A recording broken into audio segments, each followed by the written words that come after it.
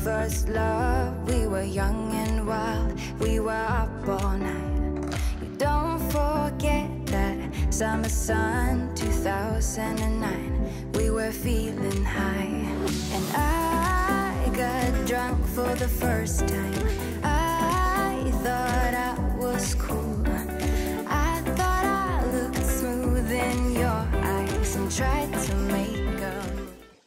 So, welcome everybody to Bonaire, part of the Caribbean Netherlands. Um, we, uh, we left Seattle, flew to Atlanta, and then took a plane from Atlanta to Bonaire. And we've been down here for a couple of days now. It's taken us a little bit of time to uh, to get settled in, and, and we're looking forward to showing you around the island. One of the things that um, people asked before we left was, "Where the hell is Bonaire?"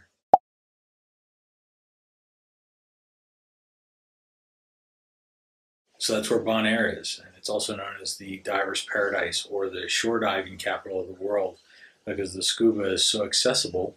You drive around, find these little rocks with names and dive sites on it, and they correspond to a, dive site or a reef out around the island. The whole island is a protected reef, so the quality of, of the diving has uh, has been fantastic. So we definitely are, are going to show you that.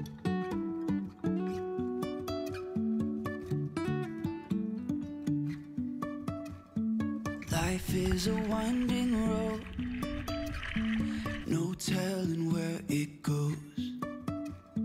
Driving through days and nights, won't stop for traffic lights.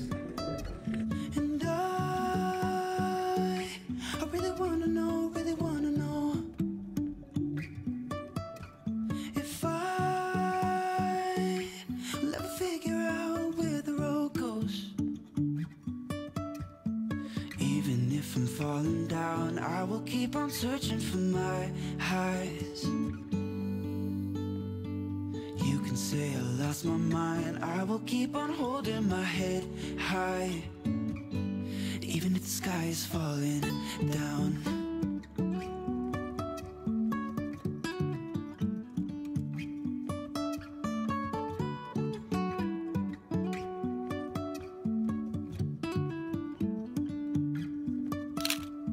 Jumping from cliffs so high, trusting our wings to fly. Sometimes we're crashing down, but we get up and start from the ground.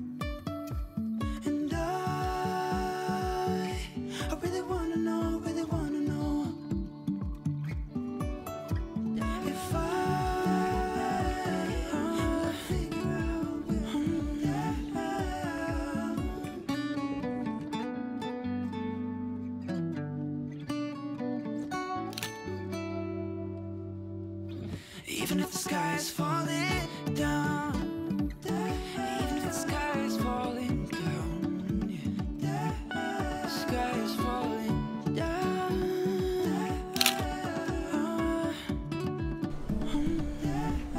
19 it is.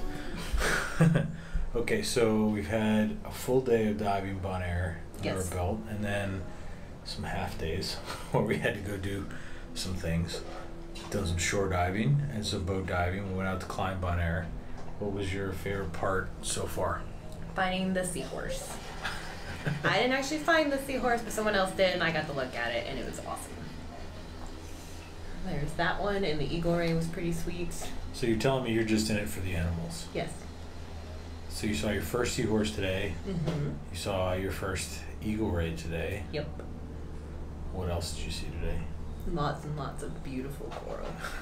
the coral is just phenomenal here. Nowhere that I've dived before compares, other than Cozumel maybe, but it's just rampant here and so healthy. So, it's happy hour. So, cheers to that. But we do have a problem. These are our last two beers. Mm-hmm. So, And we have mixers, but no liquor. yeah, the liquor store was closed when we made groceries the other day. So, um, I guess we're gonna have to uh, to do some shopping.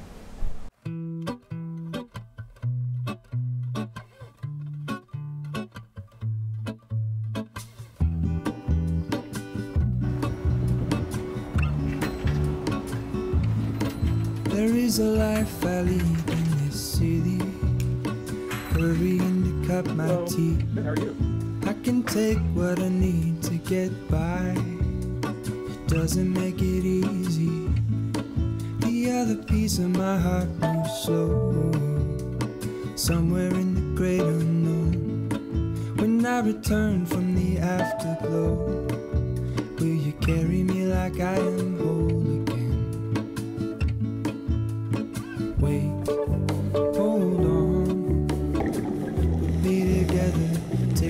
back where I belong.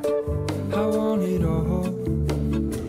I had a feeling, but the feeling is all gone. Wait, hold on. Put me together, take me back where I belong. I want it all. I had a feeling, but the feeling is all gone.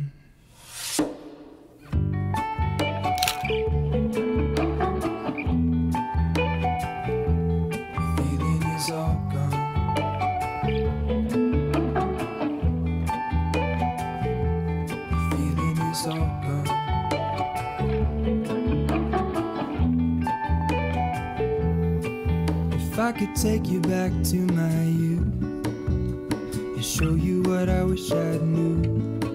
My will is strong with a place to lean.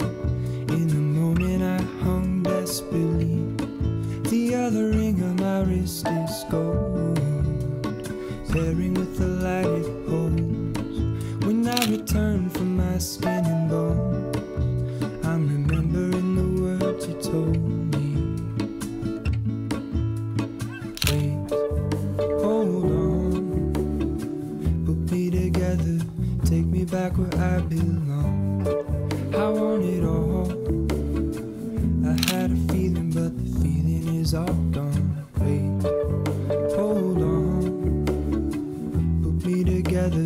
take me back where I belong.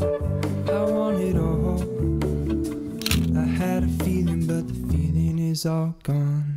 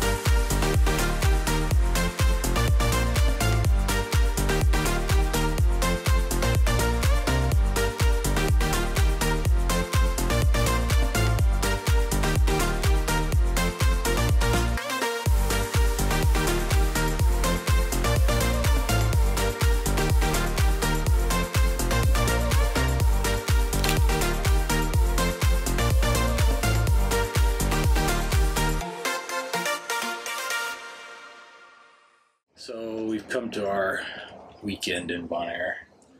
All our bags are packed. We're ready to go. Very Insert, sad. insert Armageddon clip here. I'm not going to try and sing like Michael Clarke Duncan okay, good. because uh, he does. He has a much better bass than I do. Yes. Um, so we wanted to talk uh, a few things that we really liked about our trip. A few tips, things that we've learned along the way, things that we wish we knew when we got here. Mhm. So I think to start out with, the first item that we wanted to talk about is is uh, where to stay. So this time when we came down, we stayed at Buddy Dive Resort. Buddy Dive Resort. I think uh, it's it's really a great place suited for a lot of uh, dive groups. So what we found is there was a lot of dive shops that organized trips and come down, and they have a really great setup. They've got a, two docks with quite a few boats that leave. Easy sign up, easy to get on. Um, Large vans for them to take to and from shore dives and to and from town. Yeah, there's a drive-through uh, tank fill station. There's tanks that are right on the dock. There's a reef right outside, so you can uh, quickly get in the water. Um, it makes it uh, makes it pretty pretty seamless from that aspect. They also have a fleet of rental cars, not just vans. So we actually got a pickup truck to take around the island to do some of the shore dives. And But- other exploring. Yeah, to do other exploring. So I think that one of the challenges, though, is because a lot of big groups come. To It's this not particular to resort. this particular resort. I think it's not the speed that uh, that we are normally used to. The rooms are very nice. They have a little kitchenette, Mhm. good air conditioning, lots of space to spread out, a big patio to, to eat breakfast on in the morning if you want. Breakfast was included with our room. Yep. Uh, so I think I think there's some some definite positives that, that we really liked about the resort. But I think if we were to, to do it again, if we were to come back here again, uh, hopefully under power of sail. Um, Well, then we won't need a place and, to and, and our sailboat dreams. But if we came back here again via airplane, uh, I think that we would get an Airbnb. We saw some really nice Airbnb locations on the, um, The southern on end of the southern island. end of the island that we really liked. But I think they're all over. I think that they're both north and south. Right. The ones that we, we saw on the southern end of the island were right on the beach, had access to the reef. Uh, I think that's what we would do and cook for ourselves. We tried to cook for ourselves in the room a couple of nights here. And it worked out okay. We had lunch here every Mhm. day, and that worked out really well. Lunch was much easier because we were able to make sandwiches and eat fruit and yogurt. The problem with the dinner cooking is that we weren't really provided with all the spices and such. So our usual, more flavorful dishes were a little bit more difficult to make. But other than that, it was Yeah, I think, we, simple. Think we've been spoiled um, on some of our other adventures that, that the places that we've stayed have been uh, somewhat stocked with some of the more more basic necessities than, than we're used to. So uh, I think all in all, though, I think I, I, I like Buddy Dive. I don't have any complaints about our, our stay here. There's some uh, some some great things that uh, that happened here. I think so. All in all, I think that's really good. Mhm. The diving. Uh, I think the second thing to talk about is the diving. Um, it's incredible. The reef is in such great shape. There's both there's both soft coral and hard coral that are they're just absolutely unbelievable as you've seen in some The of the variety videos. is unbelievable, and every dive site we went to, we saw something new. Yeah, Each I, day. yeah. I think each day was was something different. Um, what would you say your favorite dive was? Something special. So something special was over by the marina, and we had to uh, do a little bit of a surface swim to get out of it. Some people actually get there by boat, so some of the resorts have a boat dive, but you, you can access it if you put a little work in, uh, swim towards it. But it was a really it was a really great dive site right by the marina. That's another thing to be aware of. While shore diving is incredibly common and easy here, be prepared for some difficult entries and some surface swimming. Yeah. So make Yeah. sure you have good fins and you're prepared to do a little bit of surface swimming to the different buoys and different areas because it's not as simple as just jumping off the boat.